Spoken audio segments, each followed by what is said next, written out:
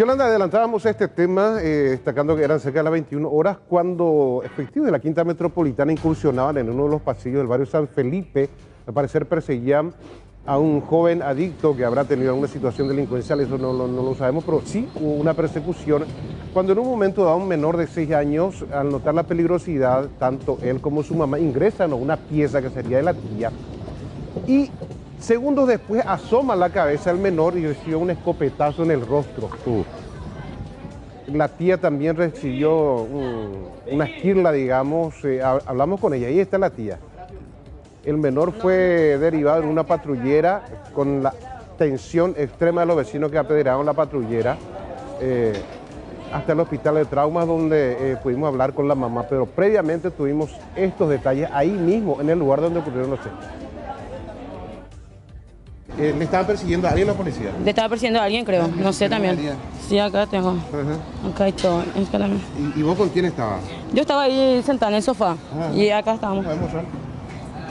Yo estaba sentada. Y vino el, mi, eh, mi cuñadito, vino corriendo, entró acá, corrió así.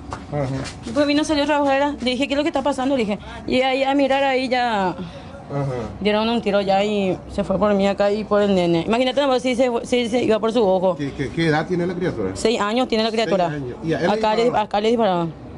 ¿Y quién le llevó? Y su mamá y eh, la patrullera otra vez. Ah, le fuimos a pedir auxilio a la patrullera. Ajá. ajá. ¿Y, y quién le disparó? ¿Los policías? Los policías, los oficiales le, dispararon. Eh, Ellos venían persiguiendo Venían a alguien. a alguien, no sé nomás quién, pero Ajá, el que pasó primero a disparar pasó ya. El segundo se quedó mirando acá, no hizo nada, de seguro que se asustó, no sé, y se fue corriendo otra vez. Entonces nos fuimos allá, le alzamos al nene de acá y le llevamos en la patrullera. En la patrullera.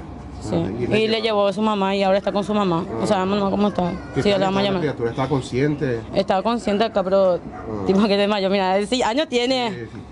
Acá le dispararon. Seguro que Imagínate que sí. afectado ¿Cómo? ¿Te habrá afectado también parte de tu...? No, no, sí, acá en la puerta nomás fue Mm, todo. sí. Bueno, ¿tu nombre? Rocío Bogarín. Rocío. Rocío Bogarín. Ya puse estudios y Eh. ya puse yo estudio tomografía porque como no me la porque bala perdí no sé no era 20 o rosabe. Eh, eh.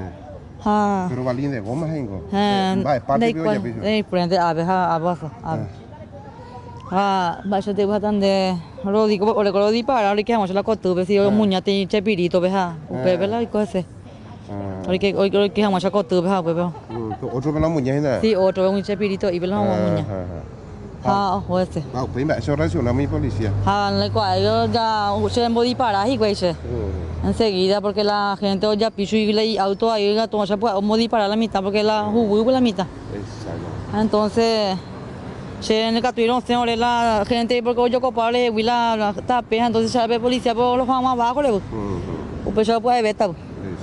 porque la gente yo yo capamos y le vidrio fuera ahí.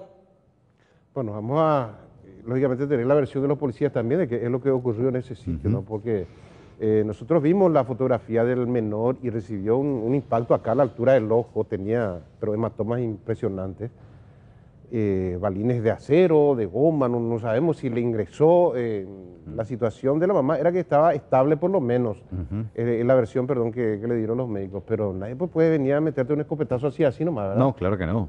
Una explicación debe haber. Bueno, otro tema, suceso